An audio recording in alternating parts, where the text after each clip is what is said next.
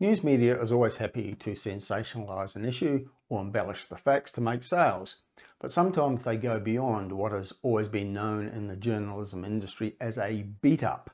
Sometimes, indeed increasingly often, what we're presented with is an outright lie, with journalists happy to present their customers with blatant misinformation.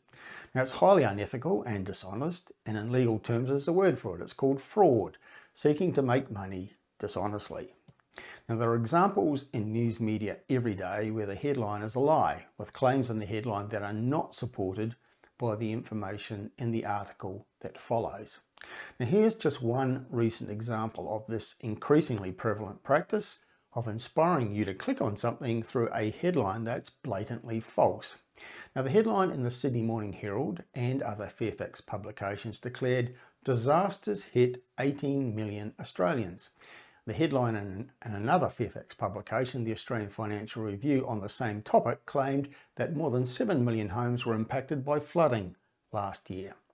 Now, the articles appeared under the bylines of journalists who are notorious for sensationally negative reporting on real estate and other issues. Now, these articles made claims such as almost every person in New South Wales and Queensland was hit by a natural disaster in the past 12 months 18.1 million Australians were affected by floods in 2022, which included 93% of all people in New South Wales, and a record 7.2 million households across Australia were affected by floods in 2022.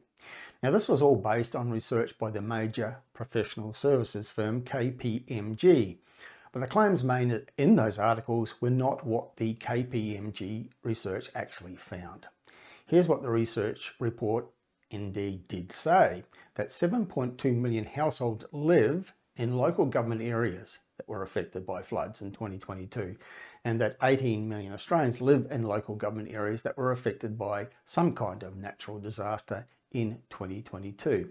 Now you'll note that KPMG does not say that 7.2 million households were flooded, but that 7.2 million households live in local areas that had floods, which is a very different thing. So for example, the Brisbane River flooded in February 2022.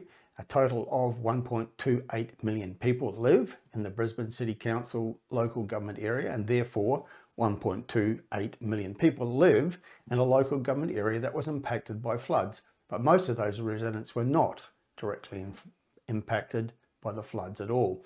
Around 20,000 homes in Brisbane suffered flooding, so perhaps 50,000 people were directly impacted, which is of course a major disaster and far too many people lost their lives.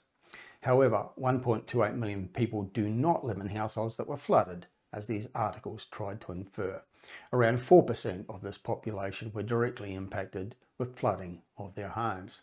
The claims in these newspapers represented a quite deliberate twisting of the facts contained in a research report to imply that most Australians experienced a flooding of their homes in 2022 or some other natural disaster, which is clearly false. Sadly, for some in the news media, this kind of distortion of the truth is second nature and an almost daily exercise.